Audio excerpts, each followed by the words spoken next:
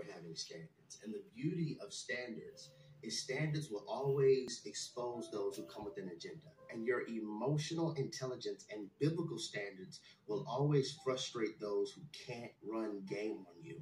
It will always frustrate manipulators. Then what you have to be careful of is manipulators will try to project on you. They'll start to say things like, you got trust issues. How about this is not trust issues? This is, I've seen this pattern before and I refuse to entertain the same pattern of being deceived because I compromised my standards. To have standards is to be aware of your value. To have standards is to be aware that God set your value to priceless. Now, the danger in allowing people to give you value or give you significance is you give them the power to set your price. So you could be more valuable than the whole department store, but you will settle with being on the clearance rack just so that you can get their approval. And it's not a standard if you are not willing to experience loss. If you aren't willing to lose something due to your standard, it's not a standard, it's just a suggestion. Sometimes we have mislabeled victories because if you lost them but found you, you really won.